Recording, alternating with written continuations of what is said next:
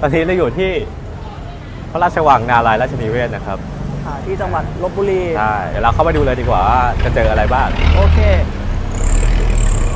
ตอนนี้เราอยู่ภายในพระราชวังนารายณ์ราชนิเวศแล้วนะครับ ตามข้อมูลบอกว่าพระราชวังนารายณ์ราชนิเวศ สร้างในสมัยสมเด็จพระนารายณ์ในปีพศ 2209 โดยแผนผังของพระราชวังก็จะแบ่งเป็น 3 ส่วนนะฮะที่เราพอทราบกันก็คือพระราชฐานชั้นนอก ชั้นกลางแล้วก็ชั้นใน ข้างหลังเรานี้ก็คือตึกเรียงรับรองแขกเมืองหรือตึกรับรองราชทูต เป็นตึกที่มีรูปแบบสถาปัตยกรรมตะวันตก เดี๋ยวเราไปดูดีกว่าว่าจะเป็นรูปแบบยังไงบ้าง คือตึกนี้เอ่อภาษาทางสถาปัตยกรรมเขาเรียกว่าตึกแบบดีวาน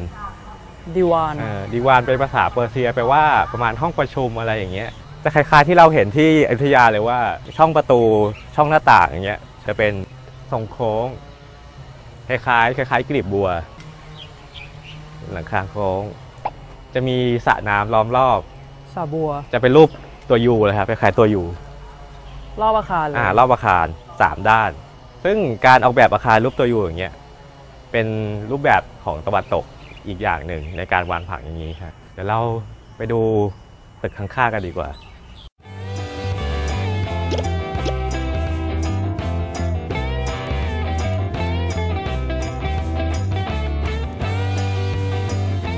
นี่เขามีบอกว่าอาคารนี้มีชื่อว่า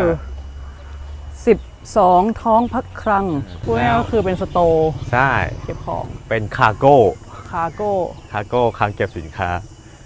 แล้วอีกรูปแบบหนึ่งของศิลปกรรมตะวันตก หรือสถาปัตยกรรมตะวันตกก็คือ เราจะเห็นว่าตรงนี้จะเป็นเสาใช่ไหมแต่ว่าเขาจะก่ออิฐแบบติดกับเสาเลย เสาจะติดกับผนังอ่าเรื่องนี้จะถูกกว่า เสาจะติดกับผนัง เราก็จะโชว์เลยว่าจะให้แบบอิฐเลยเกยขึ้นมา ให้รู้ว่าตรงนี้เป็นเสาพวกนี้เรารับมาจากตะวันตกเหรอ ใช่จริงๆ ถ้าพูดให้แบบชัดเจนกว่าวิศวกรที่สร้างก็คือจะเป็นชาวตะวันตกเลยเมื่อกับว่าสมัยปัจจุบันเราก็เห็นอาคารพวกเนี้ยจนชินอะจนไม่ได้รู้สึกถึงความพิเศษของมัน ใช่แต่พอคิดดูว่าเป็นอาคารแบบนี้ในสมัยหลายร้อยปีก่อนอะจะรู้สึกว่าเออเออเออแม่งแม่งเจ๋งอยู่นะ พระ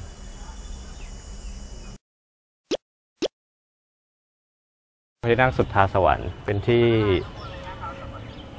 ประทับของพระนารายณ์แล้วก็เป็นที่สวรรคตพระองค์สวรรคตที่พระที่นั่งองค์นี้ ด้านในพระที่นั่งเราจะเห็นช่องโค้ง เป็นร่องรอยของสถาปัตยกรรมตะวันตกเอ้ยเดี๋ยวมาดูอีกกลางป่าที่สวย แล้วก็ดูสมบูรณ์มาก นี่สร้างตั้งแต่ปี 2209 ตอนนี้ 2,559 อยู่มาจนถึงปัจจุบัน กี่ร้อยปีนะนี่คืออายุพระราชวังนารายณ์ราชนิเวศนะครับ 350 350 ปี ที่พี่เอากดจากตัวเครื่องคิดเลขนะคะแล้วอิฐที่อยู่ในพระราชวังนี้ก็มีอายุ 350 ปี อีกก้างปลาของเราที่เห็นก้างปลาก็ 350 ปีเหมือนกัน พี่ออกช่างประทับใจ สัมผัสน่ะ350 ปีผ่านไป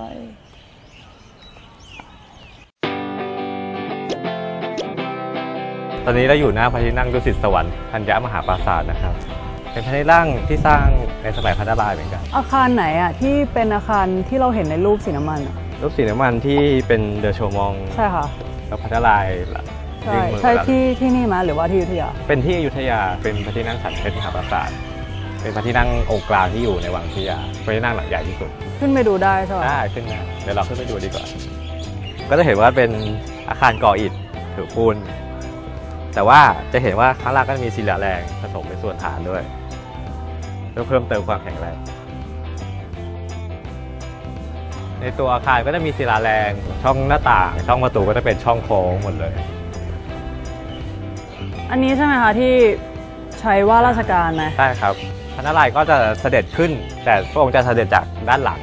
ด้านหลังพระที่นั่ง แล้วก็พระองค์ก็ขึ้นมาตรงนี้ ตรงสีหบัญชร เพื่อรับรัชทูต รับแขกเมืองอะไรอย่างเงี้ยอันนี้ก็คือพระที่นั่งดุสิตสวรรค์ธัญญมหาปราสาทเป็นอาคารหลังสุดท้ายที่เราจะมาดูสถาปัตยกรรมตะวันตกในพระราชวังนารายณ์ราชนิเวศ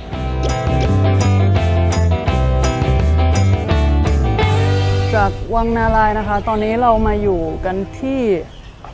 วัดเสาธงทอง ที่นี่เราจะมาตามหาอาคารสามอาคารด้วยกัน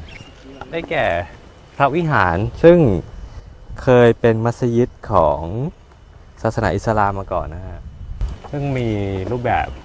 ศิลปกรรมตะวันตกชัดเจนเลยก็คืออาคารหน้าเรานี่เลย ทางเข้าวิหารเป็นซุ้มโค้ง รวมถึงช่องหน้าต่างด้วย ก็จะเป็นซุ้มโค้ง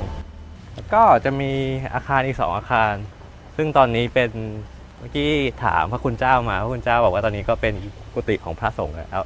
แต่ว่าอืมมีหนึ่งอาคารที่มีพระสงฆ์อยู่ แต่อีกหนึ่งอาคารไม่มีพระสงฆ์อยู่ ซึ่งเราไปดูได้ใช่เดี๋ยวเราไปดูได้เราไปดูได้อ่าเราเจอแล้วตึกขวามือเราขวามือเราตึกโคโรชานสร้างในสมัยสมเด็จพระนารายณ์มหาราชโปรดให้สร้างขึ้นเพื่อเป็นที่พักราชทูตจากประเทศเปอร์เซีย ก็คือเป็นที่พักทูตเปอร์เซีย ชื่อของตึกจะเป็นชื่อแคว้นที่ราชทูตเดินทางมาแฟนโคโลซานชื่อแคว้นโคโลซานปัจจุบันปัจจุบันอยู่ ในอิหร่านประเทศอิหร่านนะครับอิหร่านเปอร์เซียคืออิหร่านเปอร์เซียคืออิหร่าน ตึกโคโลซานวงเล็บตึกโคชสารมีชื่อไทย คือตึกโคลาซานตามข้อมูลบอกว่าเป็นตึกแฝดที่มีทางเชื่อมระหว่างตึกสองตึก นี่คงเป็นหนึ่งตึก ส่วนอีกหนึ่งตึกน่าจะต้องไปดูข้างใน โคโลซานเป็นชื่อแคว้นหนึ่งของเปอร์เซียใช่ไหมอิหร่านอ่าปัจจุบันคืออิหร่านเข้าใจผิดมาหรอกเลยนึกว่าเปอร์เซียคือตุรกี นี่เขามีทางขึ้นด้วยนะ อ๋อ นี่ไง นี่คือตึกโคโลซานเป็นสองสองตึกอะถือ แล้วมีทางเชื่อมมองกัไม่น เห็น เนี่ยค่ะ เห็นได้ชัดเลยว่าเป็นทรงกลีบบัวเหมือนกัน ใช่คล้ายๆแต่เทปที่พิเศษคือเป็นอาคารแฝด นะครับตรงนี้มีเรียกว่าชานตรงกลางชานเชื่อมระหว่างตัวสองอาคาร เมื่อกี้เมื่อกี้ไปถามหลวงพี่มาหลวงพี่แบบตึกปิจูก็อยู่ข้างหน้าเรานี่ ไปไปได้ไหม ตึกปีจูที่เป็นอาคารลูกตัว L ตึกปีจูเป็นภาษาฝรั่งเศส แปลว่าเพชรพลอยอืมฝรั่งเศสคำว่าปีจูแปลว่าเพชรพลอย ก็เลยสันนิษฐานว่าอาคารหลังนี้สร้างขึ้นเพื่อเป็นที่อยู่ของบัลหลวงฝรั่งเศสอ๋อแล้วก็อาจจะเป็นที่อยู่ของพวกพ่อค้าเพชรพลอยพ่อค้าเพชรพลอยก็มาจากเปอร์เซียเช่นเดียวกันใช่เพราะเพราะเปอร์เซียจะมีแหล่งแหล่งเพชรพลอยสมัยนั้นอะ แล้วนี่ก็คือเป็นอาคารตึกสองชั้นอ่าอ๋อใช่ตึกที่สองชั้นตอนนี้สมบูรณ์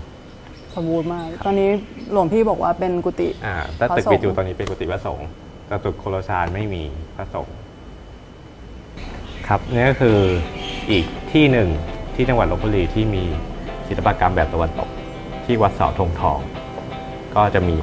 อาคารพระวิหารซึ่งเคยเป็นมัสยิดตึกโคโลซานกับตึกปิจู สำหรับฟุตปรินท์ในตอนที่ 3 เราก็ได้เห็นแล้วว่าอิฐที่ได้รับรูปแบบศิลปกรรมจากตะวันตกมีลักษณะแบบใด ส่วนฟุตปรินท์ในตอนต่อไป เราจะไปดูกันว่า อิฐนั้นเกี่ยวข้องกับสงครามอย่างไรบ้าง กับตอนที่มีชื่อว่าอิฐกับสงครามทำไมไม่เอารถมา เออเรามาฟุตปรินท์ไง รายการเราชื่อฟุตปรินท์เอาเราต้องมาตามรอย แล้วเราต้องเดินใช่ไหมตามรอยเราเดินด้วยเท้า